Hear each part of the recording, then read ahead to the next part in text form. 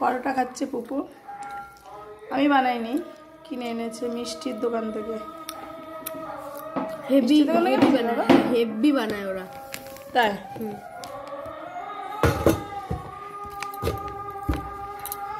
খুব খুশি। পুপু অনেক দিন ধরে বায়না করে রেখেছিল পরোটা খাবে।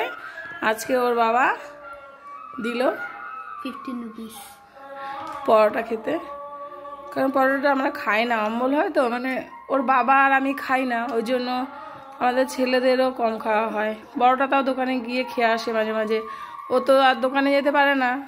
মানে সেই পারমিশনটা ওর নেই যে ও দোকানে গিয়ে খাবে ও তো ছোট। তাই তো সে না সত্যি তো?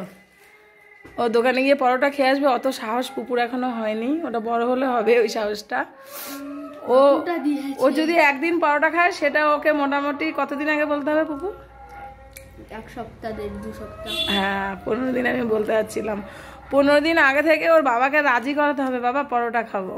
আমি এই পরোটাটা তিন সপ্তাহ আগে থেকে বলেছি। ডিসেম্বর মাসের আগে মানে খাওয়ার জিনিসের জন্য না যে খাওয়ার জিনিসের জন্য বায়না করছে ছেলেকে দেয় না সেটা না। মানে পরোটাটা খাওয়া তো ভালো নয় সেই জন্য দিতে চায় না ওর বাবা। বলো ভাত খাবি রুটি খাবি ভালো পরোটা খাওয়া ভালো না সেই জন্য আর কিছু না। তো খাচ্ছে এখন পুপু মজা করে খেয়ে নিক। কেমন লাগল ভিডিওটা? পুপুর পরোটা খাওয়ার ভিডিওটি কেমন লাগল অবশ্যই বলবে।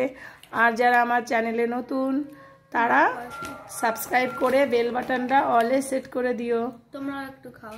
আর যারা দেখছ তারা তো দেখছোই খুব ভালো। আরে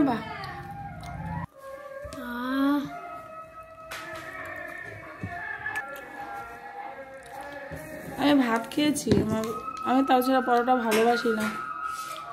আমার তুমি যাই বলো তোমার খেতেই হবে। ঠান্ডা হয়ে গেছে। দেখ। ভালোই লাগল খেলাম। ঠান্ডা হয়ে গেছে। ঠান্ডা হয়ে গেছে। যদি গরম গরম হতো তাহলে হেভি লাগবে বাই বাই তুই দুপুরবেলা খাচ্ছিস? পরোটা। দুপুরবেলা এখন কটা বাজে? বারোটা বাজতে পাঁচ। অবশ্য এতক্ষণ পড়ছিল স্যার এসেছিল ওর খাওয়ার সময়ও ছিল না। যাই হোক টাটা।